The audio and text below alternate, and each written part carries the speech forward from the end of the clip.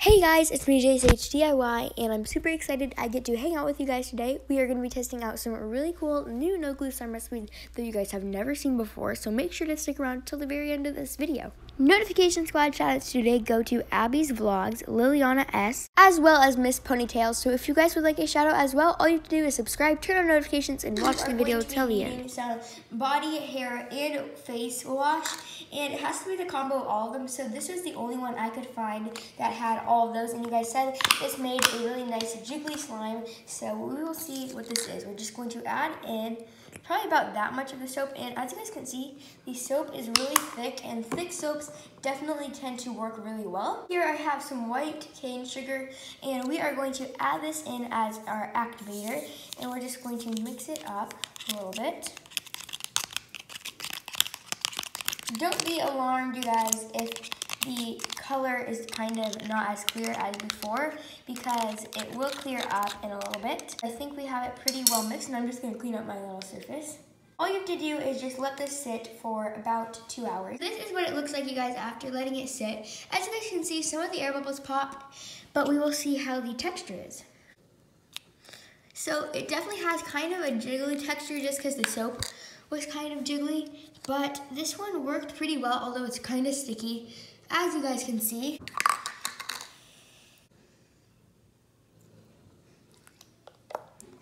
recipe, I saw one of you guys comment on my Instagram post. You will be needing some foaming hand soap. You will also be needing some salt for this. Recipe said that you're going to be needing about five pumps of the foaming hand soap, so I'm just going to add in that much. And then what you need to do is add shaving cream. We had no specific amount of shaving cream, so I'm not sure how much to add in. I guess I'll just add in,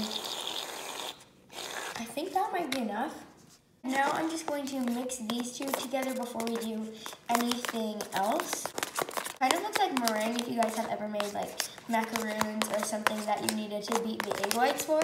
I think we will add a little bit of food coloring just for fun so that it's colorful. We're going to use some pink food coloring for this. Some of that pink food coloring so that we can have a nice colored slime. Let's add in a little bit more. And I'm actually using a broken fork to add this in because I didn't want to get out another like spoon or something because this broke earlier yesterday because my cousins were over and we were making slime and some of the spoons broke. But yeah, I think this is about the right color that I like for this one. Now we are going to add in our activator, which is its salt, the recipe said. So again, it didn't have any specific instruction for how much to add in, but I just added in a sprinkle and we will just mix this up. I have officially decided that this recipe is a fail because nothing has happened. It has made this thick kind of, I guess, frosting texture, I would say. And I think the reason I thought it was thickening up was because it was deflating and making a little bit thicker of a texture. But this recipe I did something wrong with or doesn't actually work. So sadly, this recipe was a fail, but I'm going to test out another recipe right now. Next, recipe is a one ingredient slime recipe. I used this in a video where I made a, I guess, I think it was kind of like a icy slime with, and you guys said this would work really well as a one ingredient slime recipe. So we are going to test this out. I have a bowl right here, and we are going to just simply add in as much of this as you want, and we will put this in the refrigerator. So I think that is enough, and as you guys can see, the texture is really thick, and it smells really good and I like the color, so if this works, I'll be super happy. I'm just gonna go pop this in the refrigerator. I think we'll put it in for maybe an hour or so and I'll test some other recipes while that is in there. So let's go put this in. So this is what it looks like, you guys. It had been in the refrigerator, I'd say almost for an hour, so it did have a good amount of time in there, as you guys can see. It kind of even froze on the sides of the bowl, but we're just going to mix this. I think Oh gosh, it's really, really cold. I think this is thickening up because it was in a refrigerator, but I don't know, you guys. This doesn't seem like slime. Although this is literally so cold. I don't know. This is so cold, you guys. This, I think, was sadly a fail, and it's probably just because it was a one ingredient slime. I guess you can't really expect that much from one ingredient slime. We're going to be testing out some marshmallow fluffy slime. So for this, you are going to be needing a handful of marshmallows, and you will be needing some shaving cream.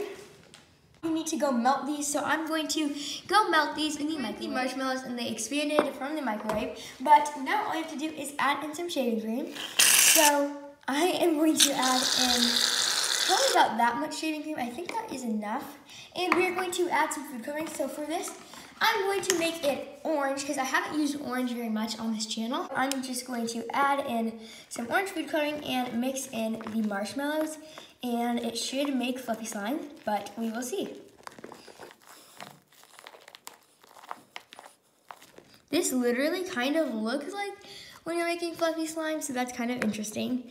But it definitely isn't like, I guess, solid enough to touch. So we might have to either add activator or put this in the refrigerator. And I don't really know what activator you could add to this to activate the shaving cream. So I think we're just going to have to add this to the freezer for a few minutes. So let's go put this in the freezer. For probably, I'd say 45 minutes, so a good amount of time.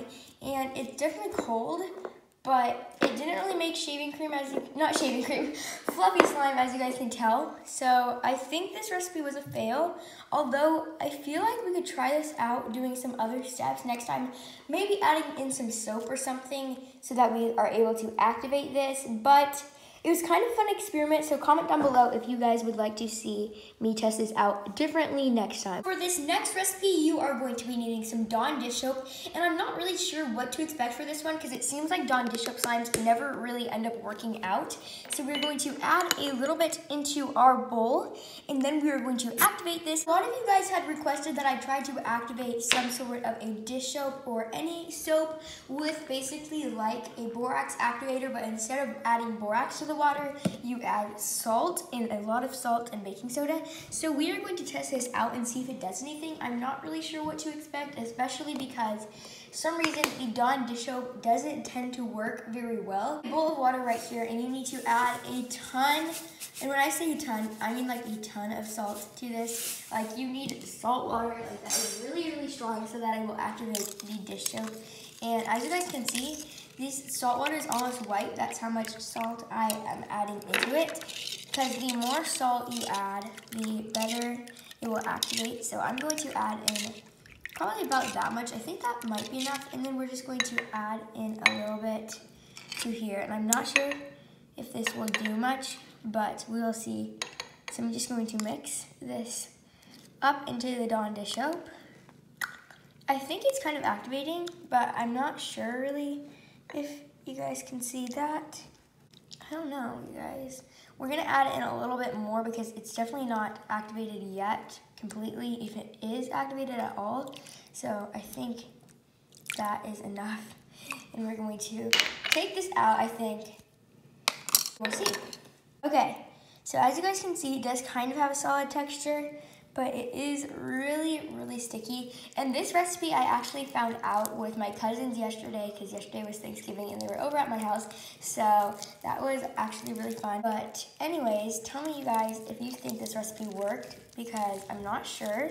I'm gonna keep like maybe dunking it in the salt water and see if that does anything. I feel like it's just kind of making it really soapy because there's water and soap don't usually mix very well. This is the final result of the slime, and as you guys can see, it is really, really sticky. But I would have to say this recipe was a success. So that is it for...